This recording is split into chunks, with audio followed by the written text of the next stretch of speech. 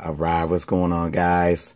Chris with Jerno's Comics, and I got a, a, special video today talking on the reaction of Zendaya being cast as um, Mary Jane in the upcoming Spider-Man: Homecoming.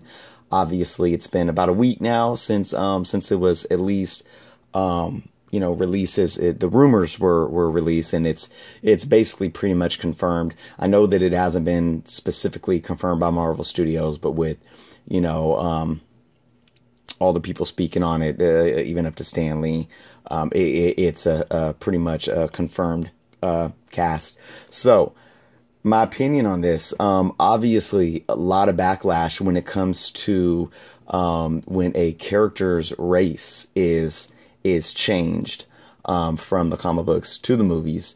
Um, we've seen this uh, before in the past, just recently with um, uh, Fantastic Four with the Human Torch. Um, so so yeah, so Mary Jane. I mean, you can say.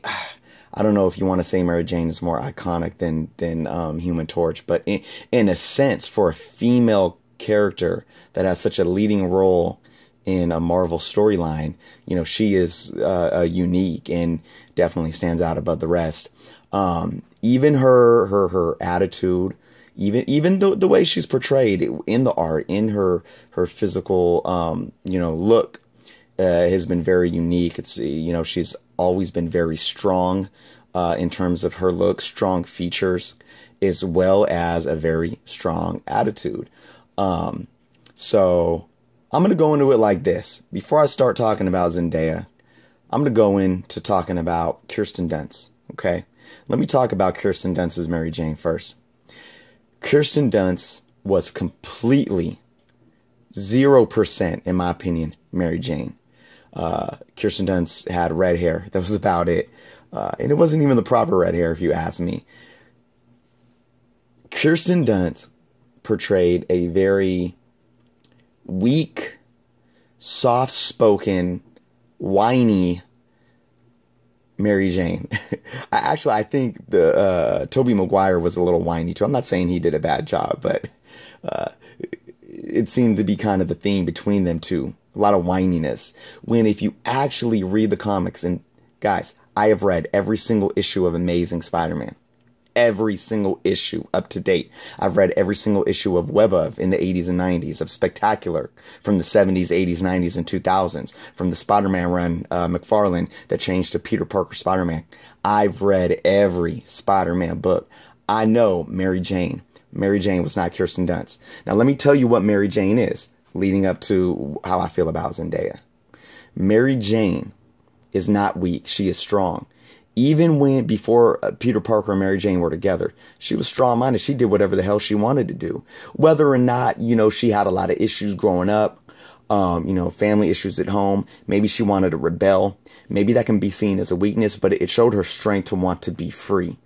All right. She always spoke up for herself and, and she stuck by Peter Parker's side through thick and thin, through life or death.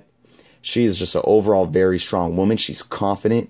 She's sexy and she knows it and Mary Jane is a uh, is a model, you know, and, and, not to stereotype models, but she is what you would consider a bombshell model. And not to take away from Kirsten Dunst, Kirsten Dunst is more the girl next door, and a pun to actually in those first three movies, them actually putting her as uh, Peter Parker's neighbor, which was kind of altered uh, from the comic books, who we know her aunt was uh, Peter's neighbor, not actually her. So, um, you know, Kirsten Dunst is more this quiet girl next door, kind of cutesy girl, but did not have the the flavor and the appeal and the, and the sexiness that Mary Jane in the comic books from all the artists ha- have uh, embodied within her throughout the years. So let's go into Zendaya, okay? I'm not even going to talk about Zendaya's race up front. I'm going to talk about what I feel about Zendaya just in her attitude and her appearance physically. Zendaya is fierce her appearance is fierce. Her attitude is fierce. Now, don't go back and, and watch her Disney stuff when she was a young teenager and judge on that. We see what a lot of these uh, Disney actors uh, grow up and, and become completely different. We can't base this on her Disney roles. Okay, Zendaya herself is from the streets of Oakland, California. I'm from the Bay. Oakland was my stomping grounds. Okay, I know how rough Oakland can be, and I think she kind of carries this kind of roughness in this swagger with her. Um, she has really um, strong features, um, and uh, I, I think she carries the look and the attitude of Mary Jane. Now get this. Zendaya, the, the argument of the race thing, Zendaya's Mary Jane isn't black. Okay. First off, Zendaya is mixed race. She is black and white. Okay. Uh, again, now this is maybe neither here or there, but due to her uh, ethnicity, she has actually very strong resemblance within her facial features as Mary Jane does. Now let's look at these comic books. I wish I had pictures of Zendaya to to put right next, but you guys can Google it. These are three different artists, okay? But you notice something with these three different artists. The very the thick lips, the really the kind of big elongated eyes with the elongated uh, eyelashes that give it that give her eyes length. Okay, kind of a kind of a petite nose um, rounded at the end, strong cheekbones. Look at Zendaya. Zendaya has all those things. Now, uh, my thing, my thing was this: as long as they give her red hair. If they don't give her red hair, I'm going to be kind of disappointed. Not that I'm going to be mad, but you know, uh, giving her red hair is gonna is gonna uh, add to obviously how what we see Mary Jane as. She's a redhead. She's fiery. It's kind of you know you know it's a it's a built-in metaphor. There are pictures online of Zendaya with red hair, and she's killing it, guys. I'm telling you, she is killing it. Okay, that is my opinion. Now, can she act? Like I said, I've I have kids. I've watched a Disney show. I'm not gonna base everything on her Disney stuff, but I have confidence in two things. I have confidence from the feel that I get from Zendaya, and I have confidence from what Marvel Studios has done thus far in all of their casting. And I mean, it's been spot on. So how can you argue this? Now we could go to Fox. I'm not talking about Fox and their casting. Obviously, we know the flaws and what Fox has done with with the Marvel movies. Let me bring up Fantastic Four again in Human Torch. The the the, the backlash of, of Human Torch being black.